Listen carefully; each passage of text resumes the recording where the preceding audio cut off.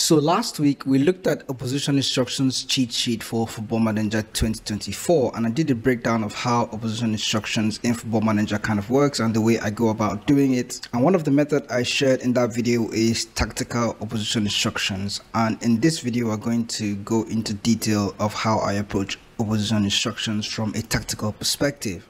Now the other two methods are stat based and player based opposition instructions. The stats-based opposition instructions involves you going into the data hub and using the information you find here to actually apply opposition instructions. The other method is the player-based opposition instruction which involves you going into the next opposition. For example, I'm here with my Benfica save and I have a game against Bayern coming up. Going into the squad list, looking at their first 11, looking at who their top players are, who their best players, are, and then looking at the individual attributes of those players. Wow, Joshua Kimmich is stacked. But player base involve using those individual attributes, the knowledge you have of the opposition's individual attributes actually apply opposition instructions.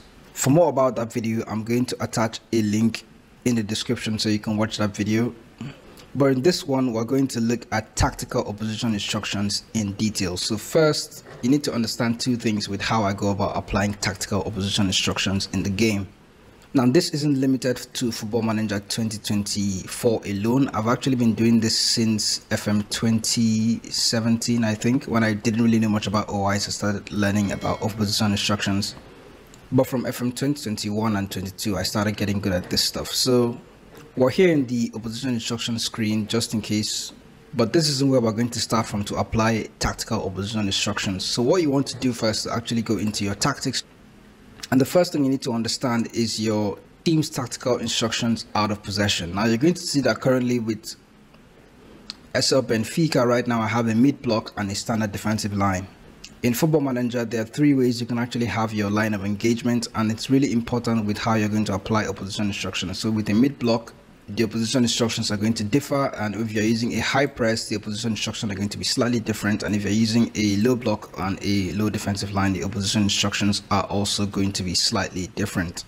So start with a high press with a high line of engagement like this what this does it, it actually allows you to trigger press the opposition's central defenders and fullbacks and to some extent their defensive midfielders if you have a number 10 in this role or two strikers, you could actually go on to press the opposition's central defenders. Assistant manager recommendations, and we can see that Joshua Kimmich and Harry Kane are players that we should go on to tight mark, and Thomas Muller as well should probably tackle him really hard. I'm just going to clear this real quick. And then looking at the way I've pushed it to the high press now, you can see that I can choose to have Kim Min Jae. You can see a player like Kim Min Jae has mental aggression. Uh, he has mental ability with good aggression, good bravery, good composure. You could with a high press, ask your players to actually go on to press Kim Min Jae.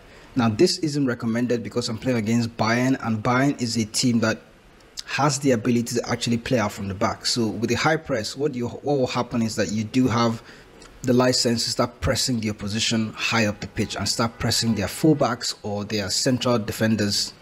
But with a mid block, that is not really the case.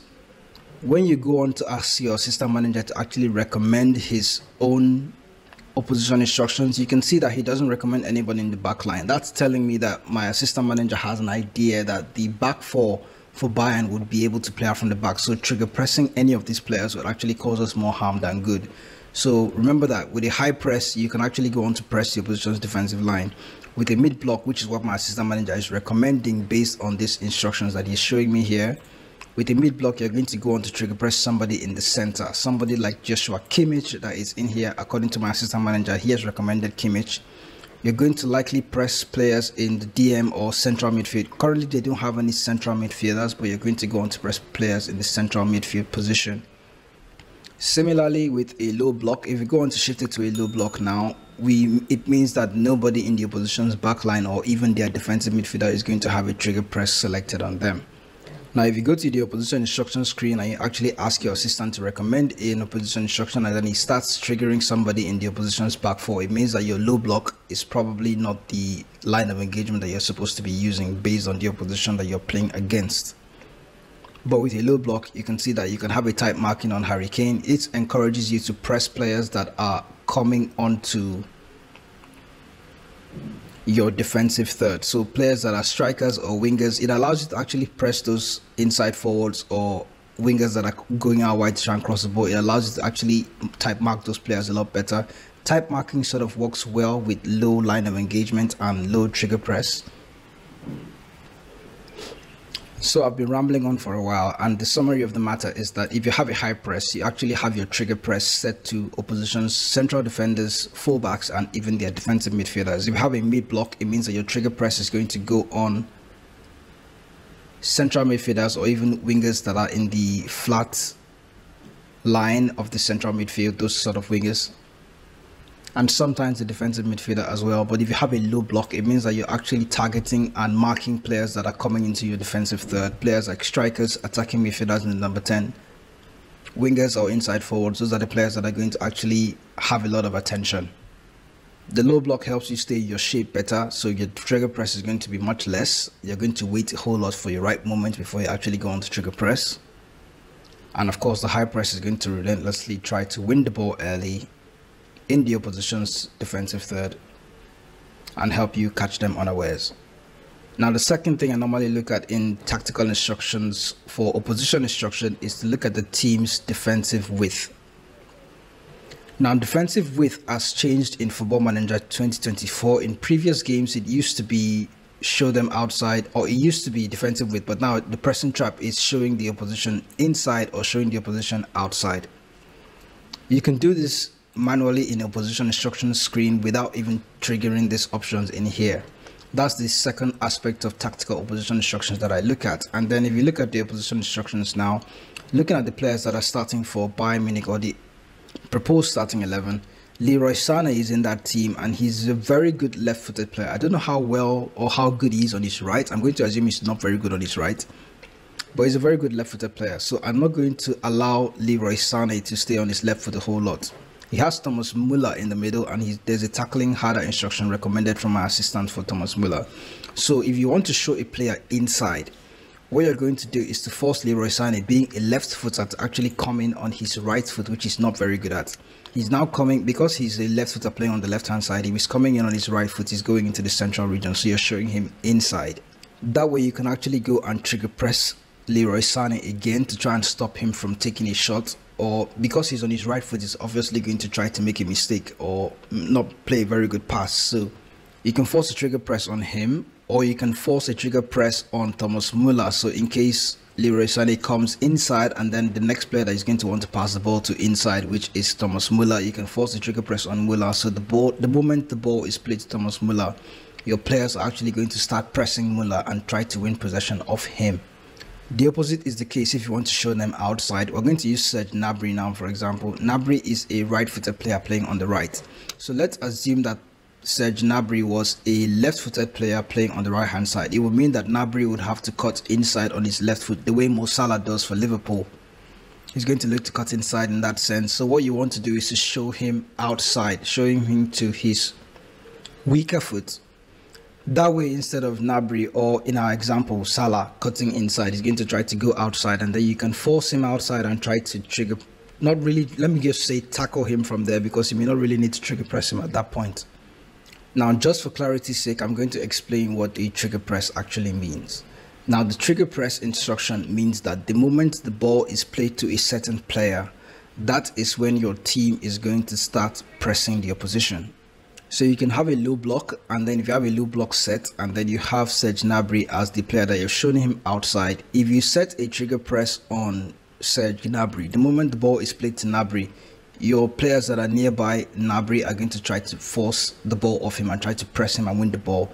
It's good for players that like to cross the ball very often in case Gnabry was a let's say let's assume yes correctly that he's a right-footed player and he likes to cross the ball a whole lot instead of just marking him tight, you can actually force a trigger press on Gnabry so that the moment the ball is played to him, your fullback can get to him as quickly as possible and try to nick that ball off him and stop him from actually playing the cross. So that's the way you can show one player inside and show the other player outside. One of the reasons why you show a player inside or outside, if you look at the tactics screen now, for example, if in case I'm playing against Bayern and I want to use this three four three system. I have two central I have two central defensive midfielders in here, defensive midfielder on support duty and the ball winning midfielder on support duty. I'm just going to throw in the players that I want to be here in Florentino Luis as my defensive midfielder, and I'm going to pick in Neves, where is he, João Neves, as my other ball-winning midfielder. Now, I have a lot of players in the central regions and not so many players in the wide areas in my defense. Why I'm going to want to force Bayern to come inside is because I've already seen from their style of play take a sneak peek at the data hub for this one. You go into the next opponent, go into the overview, and then you can see that Bayern have a tiki-taka style of play.